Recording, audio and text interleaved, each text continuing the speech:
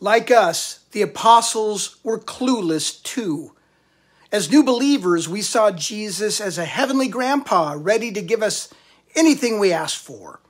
More mature believers who walk with the Lord closely know better.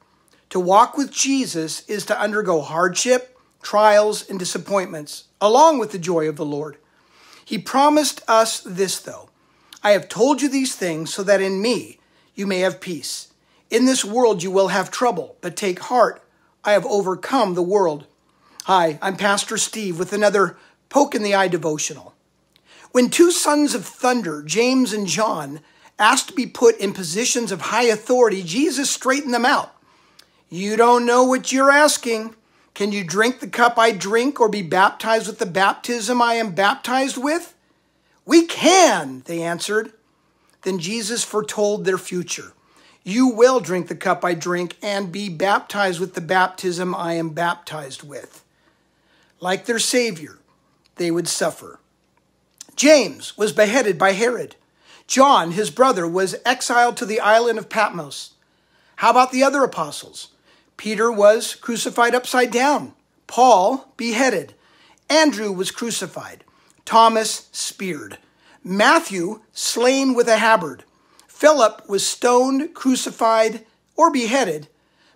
Bartholomew was flayed, then beheaded, or beaten and crucified.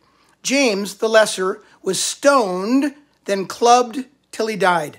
Simon the Zealot was sawed in half or crucified. Jude was axed. Matthias, who replaced Judas, was stoned or beheaded. And Judas, of course, the, the, the, tra- the traitor, hanged himself out of non repentant guilt. Dear Christian, be careful what you ask for. You may get more than you bargained for, but no less than promised.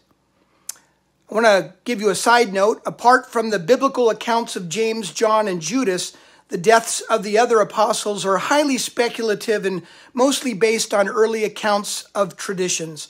Foxe's Book of Martyrs is also a primary resource. Well, that was today's Poke in the Eye for March 2nd, 2024. You can read them at pokeyoureye.com. I'm Steve Sanchez, pastor at Solid Rock Bible Church in Johnson City, Texas. Visit our website, solidrockbiblechurchjc.org. I hope this eye poke helps you to see God a little more clearly today.